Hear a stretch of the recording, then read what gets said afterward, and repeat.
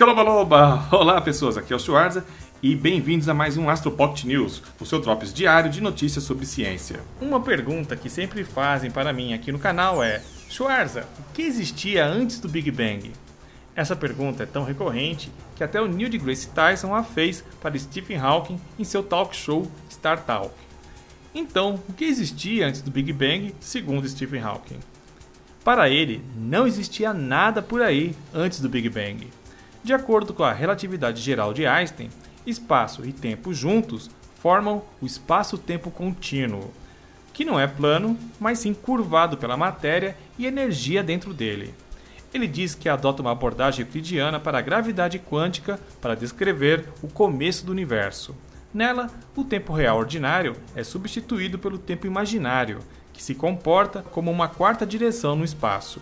Na abordagem euclidiana, a história do universo e tempo imaginário é uma superfície curvada de quatro dimensões, como a superfície da Terra, mas com duas dimensões a mais. Hawking continua dizendo que ele e Jim Hurtle propuseram uma condição sem fronteiras.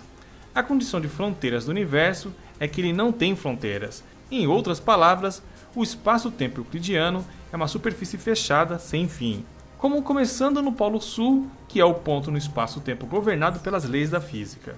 Não há nada no sul do Polo Sul, então não havia nada antes do Big Bang. Se você não entendeu bulhufas do que ele quis dizer, eu vou tentar simplificar a coisa. Na teoria do Big Bang, o início do tempo é o ponto onde tudo que observamos atualmente foi reunido em uma bola de energia menor que um átomo, que então explodiu. Mas o que veio antes? Hawking tenta restaurar uma espécie de interporalidade ao se livrar desse ponto de partida, ao imaginar um universo sem uma explosão ou expansão clara. Podemos voltar o relógio até as bordas desses primeiros momentos de existência, mas perguntar o que veio antes seria como perguntar por que você tem que continuar caminhando para o norte quando você já chegou no Polo Norte. O tempo, tal como definimos, perde seu significado na medida em que o universo encolhe. Ninguém provou que a física funciona desta maneira.